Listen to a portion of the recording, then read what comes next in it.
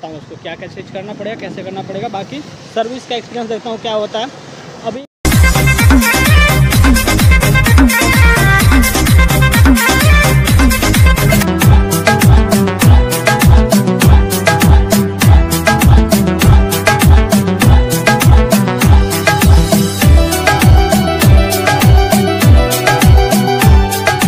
Friends कैसे हैं? उम्मीद करते हैं बहुत अच्छे होंगे। देख सकते हैं हमारे पास में ये खड़ी हमारी ओला एस वन प्रो और अभी ये गाड़ी जो है ड्राइव मोड में है और इस गाड़ी में ना जो राइट साइड जैसे ये जो साइड देखिए लेफ़्ट साइड है इसके जो सारे पार्ट्स हैं वो लगभग सही है, इधर के भी पार्ट सही है, नीचे वाले पार्ट भी सही है, ये भी सही है, इधर भी सही है।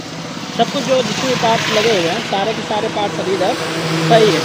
और देखिए मैं मैं रोड हूँ, रास्ता ये बिल्कुल चालू है और मैं जा रहा हूँ अपने यहाँ से लगभग 150 किलोमीटर की दूरी आसपास है हमारे वाराणसी की। उससे कम भी हो सकता है, लेकिन मुझे कंफर्म नहीं है बट मैं जा रहा हूँ। अभी पचपन किलोमीटर के आसपास मैंने डिस्टेंस ट्रेवल किया देख सकते हैं आप यहाँ पे। 55.8 मतलब लगभग हम बोल सकते हैं इसको, छप्पन किलोमीटर का ऐसा है ना? तो यहाँ पर देखिए, अभी बैटरी मेरी कितनी है? 66 परसेंट है। बरसाती मौसम में बारिश हो रही है, देखिए, गाड़ी बिल्कुल भीगी पड़ी है। प्रॉब्लम क्या है? राइट साइड में प्रॉब्लम है। देखिए राइट साइड में क्या होगा? सबसे पहले प्रॉब्लम ये है, जो कि यहाँ पर ब्रेक जो लीवर है, ये टूट गया है यहाँ पे। तो ये पहली प्रॉब्लम है यहाँ पर। इसके बाद से इधर साइड में यहाँ पे स्क्रैच है दिख नहीं रहा, लेकिन यहाँ पर पैनल में स्क्रैच है, यहाँ पर दिखेगा। देखिए यहाँ पर स्क्रैच है। तो ये वाला पैनल जो है, ये गड़बड़ है। आगे वाला पैनल जो सामने वाला पैनल है, ये गड़बड़ है। इसके बाद से ये जो पैनल है, ये गड़बड़ हुआ है। ये जो पैनल है, इसके बाद से ये जो हमारा पैनल है, ऊपर वाला अपर ये वाला का पैनल भी राइट साइड का गड़बड़ है। ये वाला भी गड़बड़ है और ये गड़बड़ है। मतलब देखा जाए तो राइट साइड में और साथ में, ये भी देखिए, ये बिल्कुल हिल रहा है। तो एक दो, तीन, चार। चार के बाद से इधर वाला ये पाँच और ये छः, साथ में ये सात। ये सात पार्ट जो है गाड़ी के ख़राब हो चुके हैं तो ये हमें चेंज करवाना है। अभी भी गाड़ी ड्राइव मोड में है, मैंने इसको बंद नहीं किया है, क्योंकि सेंटर स्टैंड पे खड़ा कर दिया हम ना। ये सेंटर स्टैंड है, मैंने अलग कंपनी से मंगाया था, मंगा करके लगाया हूँ। तो उसके हिसाब से गाड़ी को हम खड़ा किए हैं, अभी गाड़ी बिल्कुल चल रही है। और जो मौसम है, बिल्कुल बरसाती मौसम, देखा ना आपका? बारिश गजब हुई है, पूरे रास्ते भर बारिश हुई है।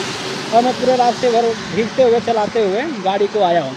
साथ में इसमें क्या डाला था, मैं मैप डाल करके गाड़ी चला रहा था तो इसलिए बैटरी कुछ ज़्यादा कंज्यूम हुई है।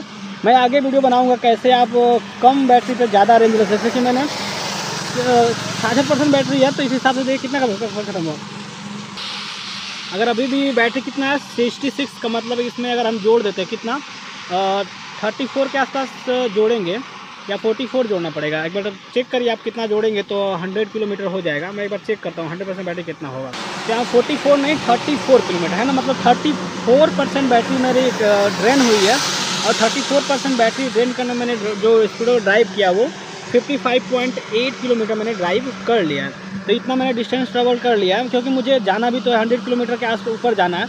उस हिसाब से मैं गाड़ी को ड्राइव कर रहा हूँ। तो देखिए, यहाँ पे अभी ट्रंक क्लोज हो गया, क्योंकि दब गया। तो ट्रंक क्लोज दिखा रहा है उससे कोई मुझे मत, खास मतलब नहीं है। अभी ओपन करोगे मोबाइल उसी में मैं रख के लेकर आ रहा हूँ। देखिए गाड़ी बिल्कुल बारिशों से बिल्कुल भीग चुकी है चारों तरफ़ से और हेलमेट में देखिए बिल्कुल भीग चुका है ऐसे। मतलब बट गाड़ी गाड़ी ड्राइव हो रही थी मेरा देखिए शूज़ मैं खुद बिल्कुल भीग चुका हूँ। ये दिख रहा है आपको हाथ बिल्कुल कम्प्लीटली मैं भीग चुका हूँ। मेरी घड़ी भी देखिए अभी घड़ी तो चालू है ऐसे लेकिन बिल्कुल ये भी भीग चुकी है। पता नहीं कहीं गड़बड़ ना हो जाइए बट चालू है। तो थोड़ा बैक करते हैं कहीं कुछ गड़बड़ इसमें ना आया। नहीं, अभी भी चालू है गाड़ी, कोई दिक्कत नहीं है। तो गाड़ी भी चालू है, लेकिन बिल्कुल भीग चुकी है। इसमें कुछ पानी का मुझे अंश दिख रहा है। दिख रहा है ऐसे? कुछ पानी मुझे इसमें दिख रहा है।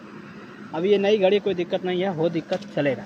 तो ये चीज़ है। अभी दिखवाते हैं इसको क्या क्या पार्ट वाराणसी में क्या बात करते हैं, क्या बात नहीं करते हैं, क्योंकि मुझको इसको भी दिखवाना। ये तो शायद इसको सही नहीं करेंगे, लेकिन बट इस बट इसमें भी स्क्रैच है। यहाँ पर देखेंगे तो यहाँ पर स्क्रैच इसमें भी अवेलेबल है, इस साइड में भी। और ये बिल्कुल हिल रहा है। अब पता नहीं कैसे हिल रहा है, लेकिन हिल रहा है यहाँ पर। ये चीज़ है और बिल्कुल पार्टी सब जब चेंज यहाँ तो सही हो जाएगा बिल्कुल। और ये भी बिल्कुल ख़राब हो चुका है, यहाँ से भी टूट चुका है। देख सकते हैं ना पे ये? बिल्कुल टूट चुका है। और उससे हमें कोई खास मतलब नहीं है, गाड़ी बस चलनी चाहिए अच्छे से और कोई दिक्कत नहीं है। ये चीज़ है। अभी हमको देखना है कि वहाँ पर जाने के बाद क्या बताते हैं लोग, क्या नहीं बताते। जैसा भी होगा मैं वीडियो जब अपलोड करूँगा तो ये चीज़ है। अभी आगे वाली वीडियो जो आएगी, उसमें ये बताऊँगा कि कैसे कम बैटरी पर आप कितना अधिक किलोमीटर आप कैसे प्राप्त कर सकते हो उसके लिए मैं आगे वीडियो बनाऊँगा, ठीक ना? तो उसको आप ध्यान से देखिएगा, मैं उसके लिए फटाफट से बताता हूँ उसको क्या क्या चीज़ करना पड़ेगा, कैसे करना पड़ेगा। बाकी सर्विस का एक्सपीरियंस देखता हूँ क्या होता है। अभी क्या है ना जो केयर प्लस पॉलिसी होती है, जो केयर प्लस पॉलिसी है, वो मेरी ख़त्म हो चुकी है। जिसकी वजह से मुझे क्या हो रहा है, मैं खुद ही गाड़ी को लेकर ड्रॉप कर रहा हूँ।